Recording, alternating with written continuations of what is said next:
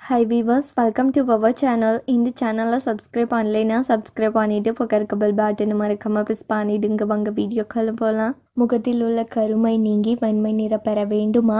அப்படியென்றால் இதை செய்து வாருங்கள். கச்சாலை குளிர்ச்சி தன்மை உடையது. இதனை இரவு தூங்க செல்லும் முன்பு முகத்தில் தடவி விடவும் பின் கலையில் வெதுவது வெதுவெதுப்பான நீரில் முகத்தை கழுவவும். இவ்வாறு செய்வதால் முகத்திற்கு புத்துணர்ச்சி கிடைக்கும். இரவு தூங்க செல்லும் முன்பு விட்டமின் இ e மாத்திரையில் இருந்து சிறிது எண்ணெயை எடுத்து முகத்தில் தடவி மசாஜ் செய்துவிட்டு கலையில் எழுந்ததும் வெதுவெதுப்பான தண்ணீரில் முகத்தை கழுவி வந்தால் முகம் பளிச்சென்று காணப்படும். வெள்ளரிக்காயில் அதிக அளவு ஈரப்பதம் உள்ளது. எனவே இரவு தூங்க செல்லும் முன்பு வெள்ளரிக்காயை அரைத்து முகத்தில் தடவி விடவும் பின் களையில் கழுவிக்கொள்ளுங்கள் பாதாம் எண்ணெயிலும் ஈரப்பதம் உள்ளது. எனவே இதனையும் இரவு முகத்திற்கு தடவி மசாஜ் செய்து களையில் வெதுவெதுப்பான தண்ணீரில் கழுவி வரலாம். பப்பாளி முகத்திற்கு குளிர்ச்சியை கொடுக்கும். பப்பாளி துண்டுகளை நன்கு மசித்து முகத்தில் தடவி மசாஜ் செய்து வந்தால் முகம் பளிச்சென்று இருக்கும். பேக்கிங் சோடாவை நீர் சேர்த்து பேஸ்டை செய்து முகத்தில் தடவி பதினைந்து நிமிடம் ஊற வைத்த பின் கழுவ வேண்டும். இப்படி வெளியே சென்று வீட்டிற்கு வந்ததும் செய்து வந்தால் முகத்தில் நல்ல மாற்றம் தெரியும். தக்காளி சாறுடன் ஒரு டபுள் ஸ்பூன் தயிர் கலந்து முகத்தில் தடவி வர முகத்தில் உள்ள கருமை நீங்கி வெண்மை நிறம் வெளிப்படும்